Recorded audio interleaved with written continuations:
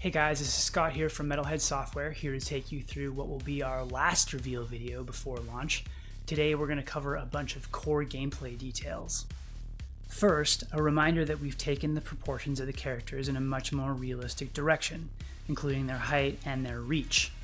That's going to create space on the field for the game to unfold more realistically.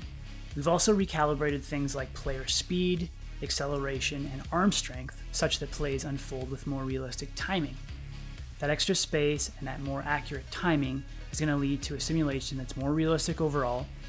And of course, we've made sure that none of this comes at the cost of the feel of the game. We've mentioned things like double switches and defensive position swaps in previous videos, but something we've added since is strategic defensive positioning. Now, we don't want you to necessarily have to think about defensive positioning too much if you don't want to. So, the way that this is going to work is that obvious defensive positioning changes like bringing your infield in when the winning run is on third base, will happen automatically. More aggressive defensive positioning changes will be up to you to make, overriding that default behavior. SMB2 tracks errors and unearned runs, so that means more accurate batting average and earned run average statistics. And a no hitter is still a no hitter even if your second baseman boots a routine ground ball in the bottom of the ninth.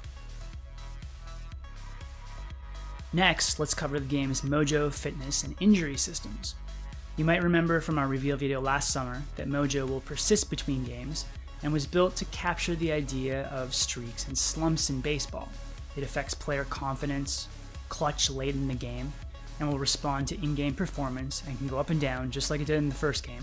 And when players are rested, it will tend to recover towards neutral.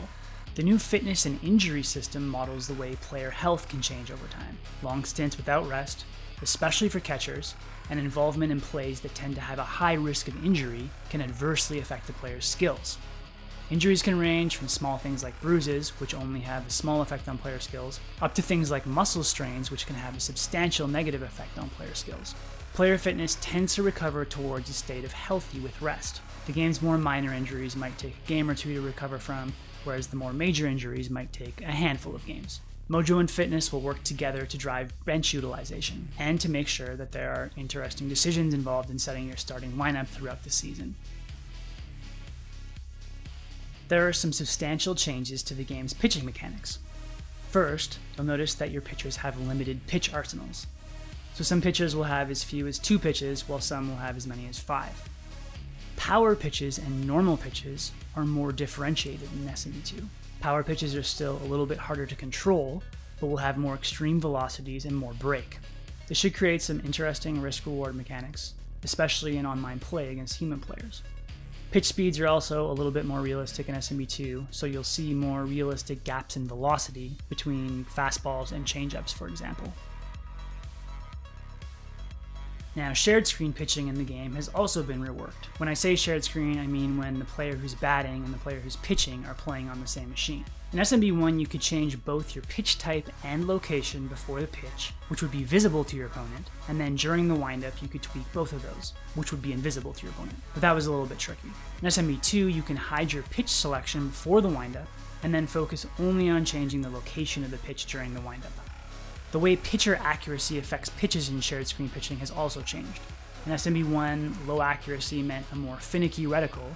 In SMB2, low accuracy means a larger region in which your pitch may end up. The batting simulation in SMB2 has been tweaked for more realistic exit velocities and launch angles. Notably, neither you nor the AI will be able to pull an outside pitch on an early swing for a jack. Likewise, you won't be able to swing late and fist an inside pitch for an oppo dinger. A category of hit that you would have seen a lot of in SMB1 was a straight up pop up where you typically see the opponent's catcher making the play for an out. In SMB2, the incidence of this type of hit has been reduced in favor of more foul balls into the backstopping crowd. On the defensive side of things, the odds of a defender making a play cleanly have been better tuned to account for the situation. You'll see fielders easily handling plays like high one hoppers, but having a much harder time with, for example, sharply hit short hops. The fielding skill of your players also matters more than it did in SMB1. There's a big spread between the number of errors made by low and high skill fielders. High skill fielders can dive substantially further than low skill fielders, and the speed that players can get throws off is also dependent on fielding skill. Lastly, you're going to see more realistic deflection velocities when fielders don't feel the ball cleanly.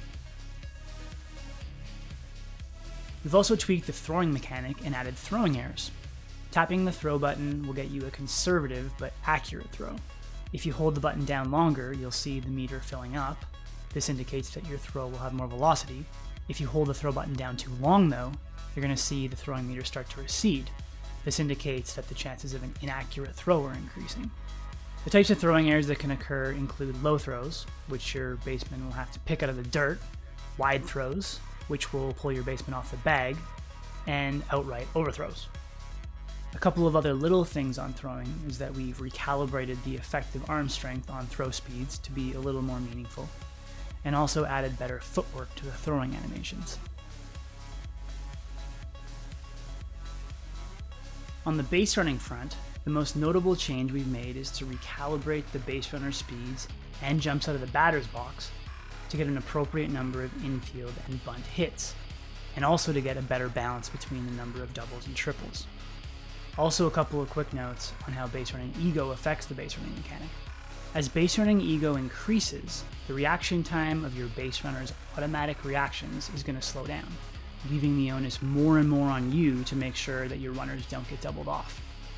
Also, you'll notice that the CPU controlled defense will become much more effective at trapping and nailing you in rundown situations as your base running ego increases. In general, you'll see the AI being much smarter and more aggressive on defense and on the base paths as your base running and fielding egos increase. Lastly, there's a couple of big off the field features that should be mentioned here. The first is that SMB2 now supports mid-game saves, so no more worrying about if you have enough time to finish a game when you sit down to play. Second is that our custom season and elimination modes will support simulating your own games. So if you've played through the meat of a season, clinched a playoff spot, and you just want to skip ahead to the playoffs, you'll be able to do that. That's it for this one. Thanks for watching and looking forward to seeing you on launch day.